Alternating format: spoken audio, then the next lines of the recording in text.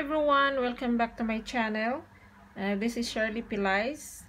Um, Pag-usapan natin guys about sa Kappa Ministries Foundation or Kappa International. Ano ba yung tawag nun? Nagkabali-baliktad na. And uh, maraming nagsasabi na hindi talaga siya scam. Yan. Yung word na scam. Yan. Marami mostly sa mga um, mga members na nakaranas ng blessing na tinatawag nila or interest ay hindi siya scam. Yan, hindi siya scam dahil bakit? Dahil kumikita sila ng pera. Yan, kumikita sila guys. At nag naging okay yung ano nila, life yung buhay nila ay naging okay. So, bakit nga ba scam? Eh, nag-improve naman yung buhay nila. So, ayon sa mga members yon ayon sa mga tao na nakaranas na uh, kumita nga talaga. Yan, mayroon siyang revenue na tinatawag. So, bakit nga ba may revenue? At bakit scam siya? Yan. Um, para sa aking explanation guys, ganito. Ang mga tao ay nagsasabi na hindi siya scam dahil kumikita, di ba? Pero, yan, kapa na naman. Yung kapa, ano, international school or kapa na sapatos. The, isang P lang pala yun. So, ang ang mga tao nagsasabi na hindi siya scam dahil kumikita, pero hindi naintindihan ng mga tao guys na na mayroon tayong batas. Ang batas ay batas at hindi 'yun pwedeng baliktarin. Ang kapa ay isang naka ano siya, naka-registered siya na isang religious um, organization. Yan, isa siyang religi religious organization. At nagtaka yung sect dahil naka-register siya 'di ba na religious organization but nagbibigay nag-aalok sila ng investment.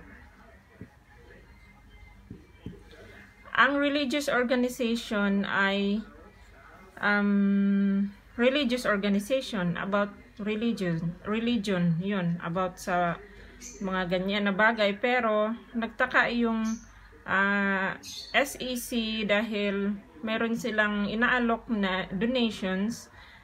Okay lang sana guys na mag-donate tayo ano? Dahil magandang bagay yun mag-donate tayo para makatulong. But, kapag kapag ang donation ay nagpa-promise na ng uh, interest, doon na pumasok ngayon ang SEC. Bakit? Mayroong uh, makukuhang blessing ang donation na yon or ito tinatawag nilang ano yan eh investment and then equals um, interest. Yan. Bakit? Mag-donate ka lang naman. Bakit magka-interest? Ba? Pwede mo yang pag pagkukrossin pare-pareho lang ibig sabihin. So bakit ka mag magdo-donate ka lang naman, bakit may interest or blessing? Yung blessing guys, na sinasabi, yung blessing ay kusayang binibigay or uh, blessing yung galing sa Panginoon na gumanda ang ating buhay dahil gumawa tayo ng maganda. Pero ito ay involved na ang pera. Parang um, kumbaga hindi na siya ano yung parang sa sa isip lamang kundi as in uh, physical na siya, makikita mo na na ikaw ay nagbigay ng pera, meron kang abot, parang ganun. So, ito ang nagpa um, nag ano sa, sa SEC na uh, para sitahin ang kapa. Kaya bakit ganun nangyaring ganun eh ano kayo religious organization bakit may ganyan. So para sa akin um, ang ang style ng Kappa International ay isang scam dahil hindi ito sumusunod sa batas dahil um, very ano sila sabi, sabi nga eh mathematically impossible yon mathematically impossible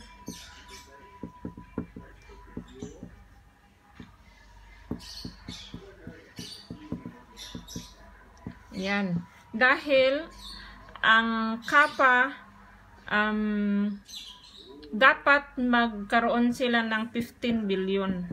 15 billion um, per month na kita para masusten masustentuhan nila ang mga members nila na halos 10 million na yata eh na members nila. Masustentuhan nila lalo na yung mga nagbigay ng 10k uh, per uh, per donation 10k so sa mga nagdo-donate ng 10k uh, dapat nakatanggap na na yan sila ng 3k per month. Kasi uh, i-ano mo yan sa uh, latest kong ano upload may explanation na ako doon para paano makuha yung uh, 30% ng 10k So, i-divide mo lang ang i-divide mo lang siya sa yung 30 i-divide mo lang sa 100 yan para 30% yan ibig sabihin so 30 divided by 100 equals uh, 0.3 um, 0.3 times 10 equals 3,000. 'Di ba? So yun, kapag kapag ikaw ay nagbigay ng 10k, dapat may may 3k ka per month. So ang per year mo uh, 3k times 12 kasi 12 months per year, 'di ba? Equals 36,000. Yan ang per year mo. So, 'di ba guys, wala tayong question about sa nangyari sa ating mga kababayan, lalo na mga OFW kagaya ko na nag-increase, nag-improve ang kanilang buhay. Uh, walang masama doon. Pero, kung paano nag-improve ang kanilang buhay, ay hindi naman kasalanan ng mga investor yun guys, di ba? Pero yung paraan ng kapa, yun ang mali. Dahil uh, very impossible na um, matustusan ito at ang sinasabi pa ng kapa itong um, secure, uh, investment na ito ay for life. Lifetime yan na ibibigay nila kapag nag-donate ka or nag-invest ka ng 10K. Paano na yung paano na yung nag-donate ng 100k? So may 30 30k sila per month. Paano na yung nagdo-donate ng 1 million? So may 300k sila per month, 'di ba? Um, paano tustusan ng kapa yun? Sabi ng SEC, wala silang ano, wala silang um, um, anong tina viable business na tinatawag na magsusupport magsusupport sa kapa para tustusan yung mga interest na napakalaki-laki. So ano bang mga viable businesses na magsusupport sa kapa para mas tustusan ito? So ang ngayon ang ang, ang government ay nagwo-worried na kasi ganito ang mangyari yan kapag mag-stop kap, 'di ba ito yung mga members no yan, mga members yan dyan, dyan, dyan, dyan. Kapag dito sa pinakadulo ay mag-stop na, dahil ang style ng kapa parang cycle eh. Yan, kapag may mag magbigay dito, tatanggapin dito. Tatanggap, yan, tatanggap. So, dapat continuous yan. Pag may mag-stop na dyan, doon na magkakagulo dahil wala nang source ng money. Kapag mag-stop, may mag-stop na na sumali, wala na silang source of money para paikutin. So, magkakaroon na ng problema dyan. So, uh, wrong technique yung ginagawa nila na maganda rin naman dahil yun na nga, kumita yung mga tao pero mali ang paraan. Kahit sino-sinong mga businessman ang tatanungin, um, maliit lang talaga ang kinikita nila kagaya ng mga manukan, mga hardware, mga basta kunti lang ang percent na makukuha nila 3%, 5%, 8% lang kita per month. So, sa milyones na mga members ng KAPA, paano nila tustusan yun? Ang kaya pinasara ni Duterte ang kapa dahil darating at darating ang time na um, mawawala ng pondo ang kapa at sino ang maging kawawa mga kapwa natin Pilipino.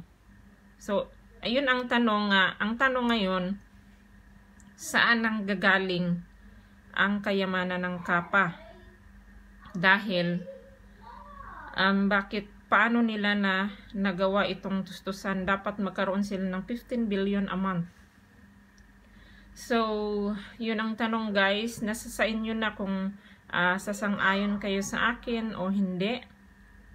At ang sabi ng sect ay uh, may tatlong kaso or violation ang kapa. Ito ang ifa-file nila against kapa. Ang una ay ang pag uh, pagbebenta ng unregistered security. Yun yung uh, unang kaso ng KAPA or violation na nagawa nila. Unregis selling of unregistered security or investment contract. Pangalawa, um, against for person yung 'di ba mga tao, may mga tao na nag-aalok, mga mga members nag-aalok about sa investment. May kaso din doon dahil uh, hindi fair para sa tao na yon sa nagsisell dahil um, hindi nga lisensyado. So, against per person or or selling without being licensed. Yun ang pangalawang kaso na i-ano nila sa kapa. Ang pangatlo and lastly na isasampa nila is uh, engaging fraudulent activities. So, yun ang tatlong magiging kaso ng kapa na ipa-file ng SEC guys. So, um, hindi naman uh, sinasara din ng kapa ang kanilang side ha. Ready naman silang i magpa-imbestiga and ganun din naman sa side ng uh, government. So, sana ay maliwanagan ito dahil marami tayong mga kababayan lalo na yung mga huling nakapag-invest sila ang mga kawawa dahil kaumpisa pa lang nila wala, wala pa silang kita uh, nawalan pa sila dahil pinasara na nga dahil nga guys, wala nga sa batas yung paraan ng kapa. Wala, illegal siya, illegal. Kahit sasabihin nilang masaya sila, kumikita sila, wala na tayong magawa dahil ang batas ay batas, illegal siya. So, dapat sumunod na lang tayo sa batas. So, yun lang aking um, masasabi sa sa kapa na isa siyang scam at uh, isa siyang scam. Ang scam ay scam at wala nang wala nang babaliktad pa doon dahil scam talaga siya against the law. So, kumikita nga kayo against the law naman so wala tayong lusot dyan. So, dapat panay ako so. So, so guys, ayan so na naman. Uh, pasensyahan nyo na. Um, that's it for today. I hope ay napali, naliwanagan kayo. If you haven't subscribed yet, please subscribe to my channel. And don't forget to click the notification bell. Yung bell. Yan. Ha, bell ba yan? Ayan. Para ma-notify kayo sa aking mga videos. So, good luck sa inyo guys. Kapag tayo ay mag-invest, dapat mag-aral, pag-aralan muna bakit ganun kalaki. So, yun yung sinasabi nila, too good to be true. So, good luck sa ating lahat. God bless. See you on my next video. Bye.